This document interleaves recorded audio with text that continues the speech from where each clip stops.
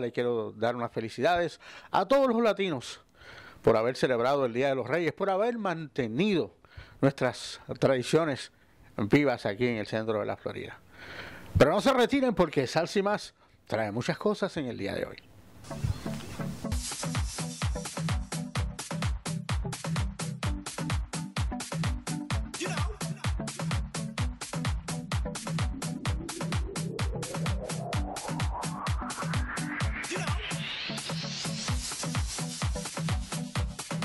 Bueno, en el episodio de hoy de Salsa y más va a estar súper interesante, sobre todo para esas personas que están viniendo de Puerto Rico para acá.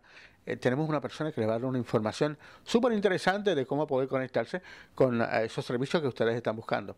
Adicional, queremos hablar sobre Balance. Balance es un exponente de la música bomba y plena un conocido exponente de la música bomba y plena, que vive aquí en el centro de la Florida, pero viaja a todo el mundo, llevando nuestra música, nuestra cultura a diferentes países. También vamos a conocer un centro de arte, arte boricua, arte puertorriqueño, eh, donde estuvimos pues, eh, eh, celebrando la fiesta de, de Reyes con ellos.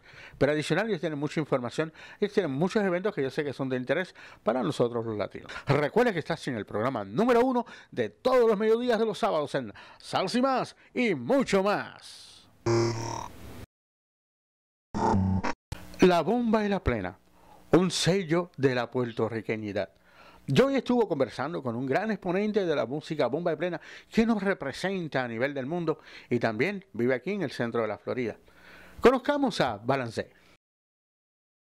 Bienvenidos a Salsa y más. Me encuentro aquí con Ángel Luis Reyes de Balance.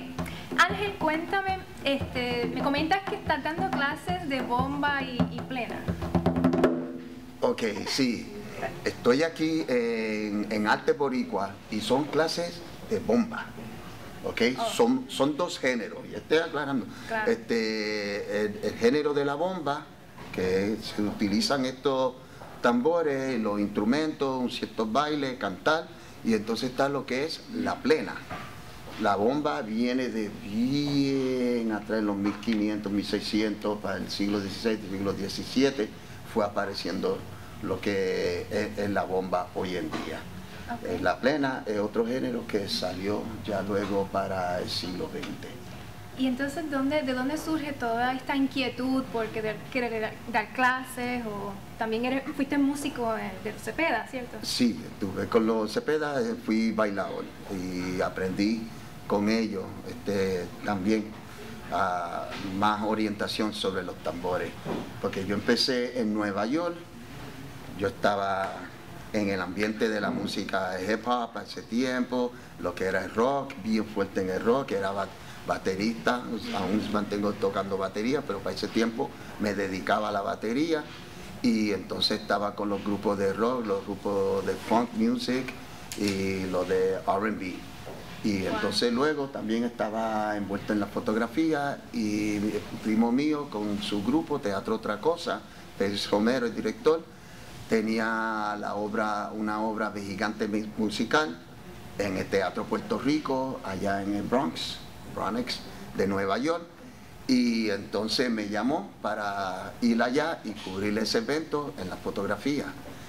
Y fue más lo que yo bajé la cámara de lo que yo estuve snapping away.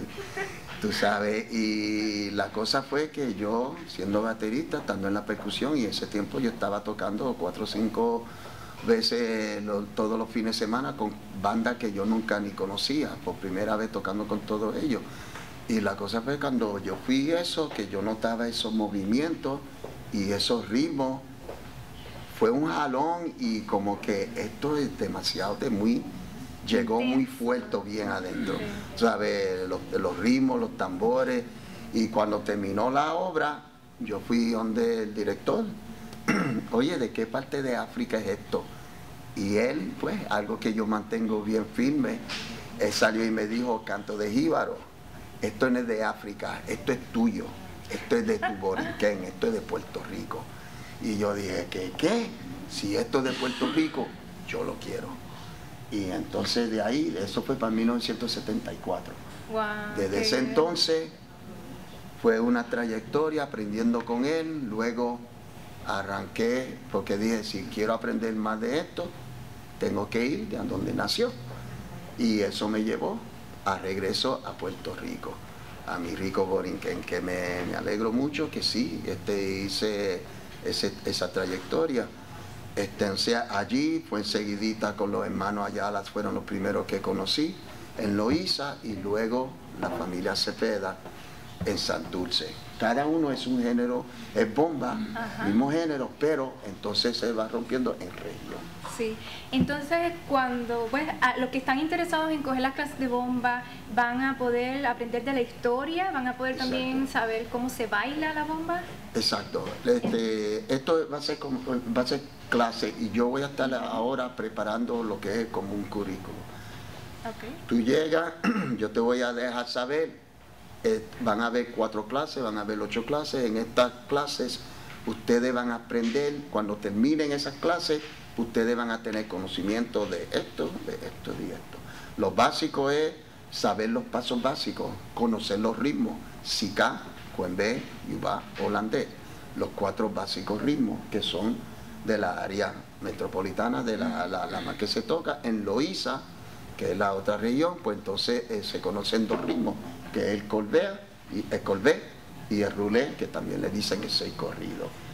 Y entonces saber los pasos básicos y por lo menos tener los, fundamentos. Si quieres ser tocador, por lo menos los fundamentos de baile. Si quieres ser bailador, pues por lo menos los fundamentos. Todo el mundo coge los básicos y luego cada cual se ubica en lo que quieren. Y me estaba contando que para ser un bailador debería conocer obviamente. Sí, se necesita los ritmos básicos, porque yo lo que hago es los ritmos, los sonidos del tambor te afectan en el cuerpo de una cierta manera y te mueven. Cierto ritmo, cierto toque, te mueve cierta parte del cuerpo. Lo profundo, obviamente, más las bases. Los sonidos más, más altitos, pues entonces te sacude un poquito más arriba y entonces en la bomba el que manda es el bailador, pero tú necesitas saber qué es lo que sucede entre los ritmos que eh, el ritmo que va llevando, el, ritmo, eh, como se dice, constante, que es la base, y luego entonces cómo eso te afecta a ti y cómo eso te va a ayudar a ti poder dialogar con el otro barril, que en la bomba es buleador, es bula, es bulador, y el que es el subidor. Este es un ritmo constante, como... De ahí no se sale. El otro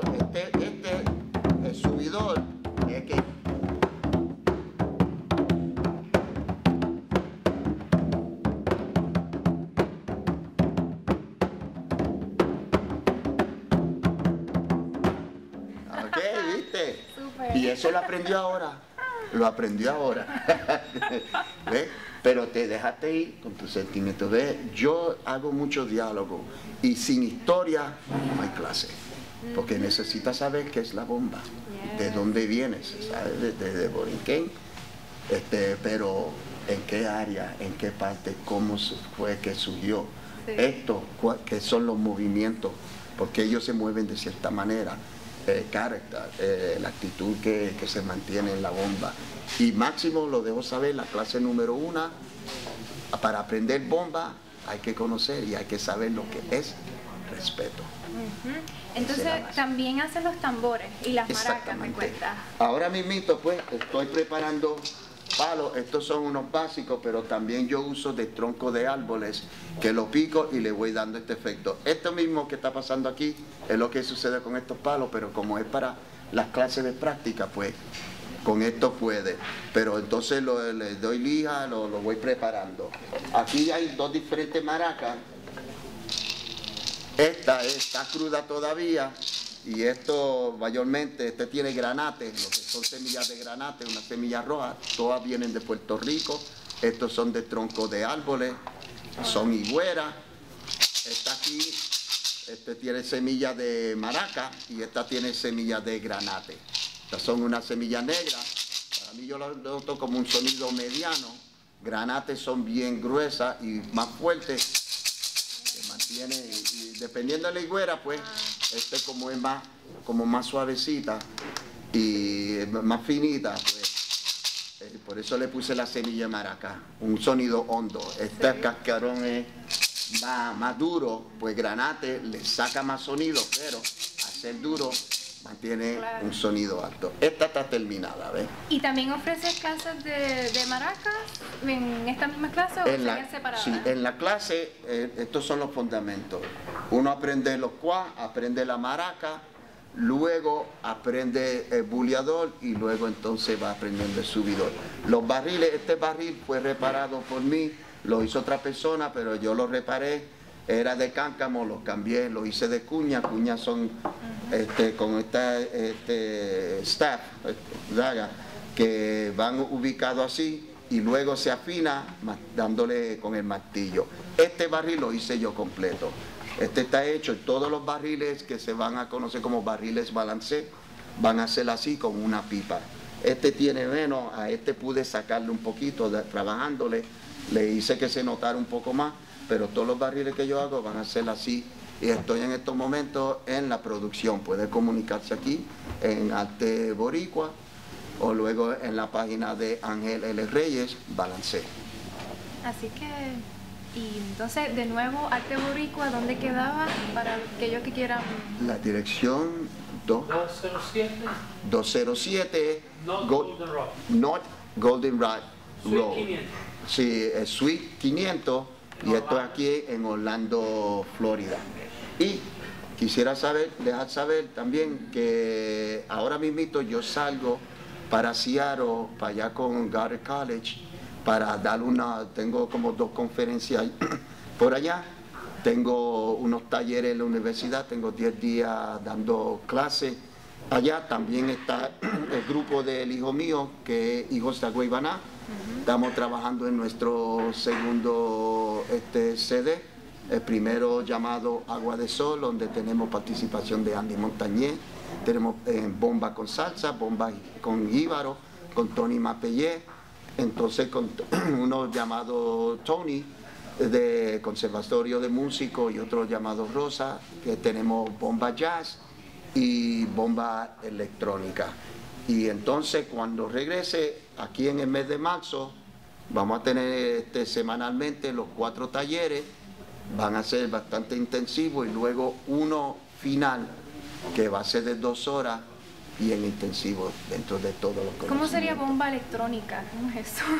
eso, bomba electrónica, la, cosa es, se dice la palabra bomba porque nosotros mantenemos los ritmos que son auténticos, ah, los coros como son, todo el, mismo que, hicimos con Andy Montañé, eso fue bien arreglado al estilo bomba, eh, originales de Otoquí Reyes, que es el director y el compositor de la, mayoría de las canciones, y entonces él iba donde Andy, mira Andy, ¿qué tú crees con esto?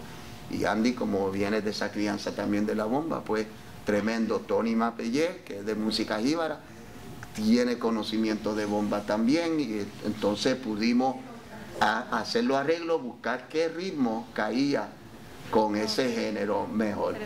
Sí, y entonces ahí se hacía. Entonces tenemos también a Cristi Mangual, que es de Mayagüez, Afonso Mangual, que hija de Aristarco, tremendo, ilustre dentro de la bomba.